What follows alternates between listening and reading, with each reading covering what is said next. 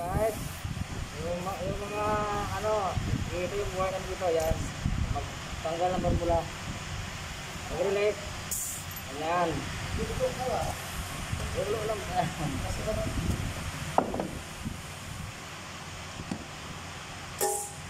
Yan, medyo matigas ya, then vir- virgin. Okay lang taglit.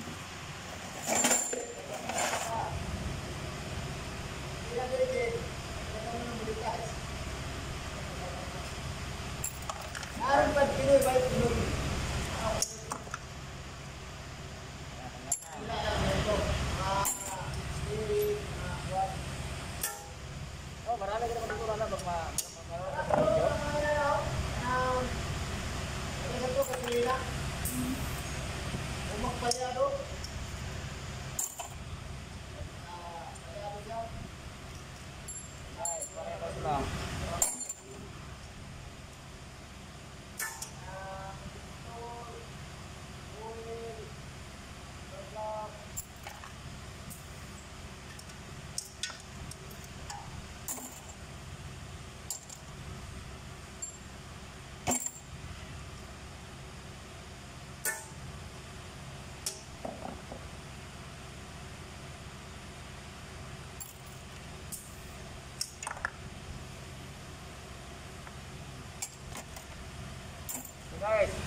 hangin ang. Ayan, ano niya, pang tanggal. Tama lang, ah, mga dudulan, 1,000 siguro na. Ah, si Dong, partner ko.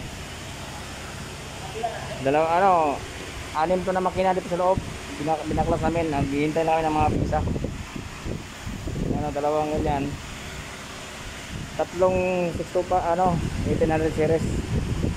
1800 series na 13 itong makina na to parehas na to sa C19 sa Caterpillar. Yan yung mga block niya yung isa.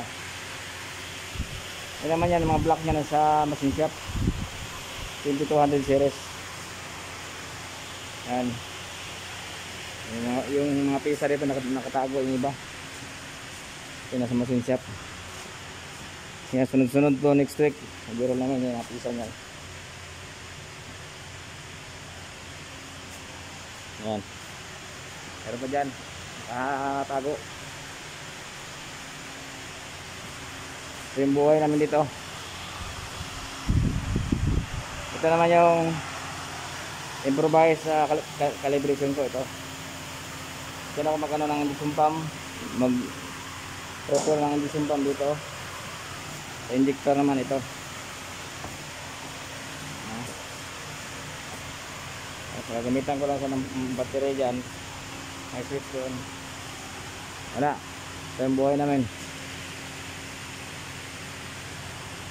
Yung isa naman na 1104, ngayon turbo na lang at saka injection pump. Kulang dahil yung turbo nito nasa ano, nirikusan pa. Injection pump wala.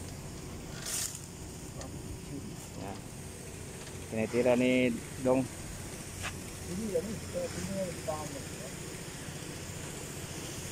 Ah.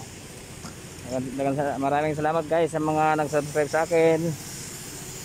Don't forget to like and subscribe para updated kayo guys sa mga ginagawa namin. Ayaw mga pisa niya, hugasan pa.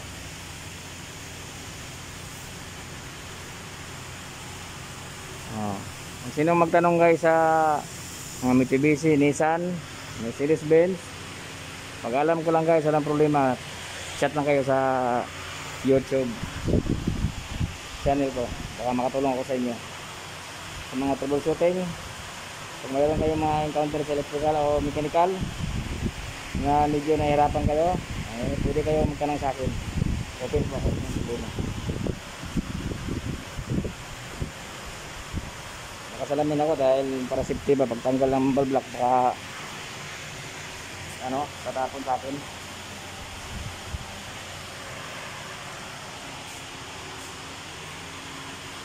Yung plate niya guys, kailangan nak- nakatayo kasi nga may posible na bumaluktot. Yung kasi yung plate niyan. Kung bumaluktot yan, yun, maglilit yung mga gasket nyo. Ito yung cam shop niya. Ano yung plate na yan oh. Yung isa, yung isa sa crankcase, yung isa sa cylinder head ito. Ayan yung mga piston niya. Mayroon pa sa baba. Yung isa nasa machine shop.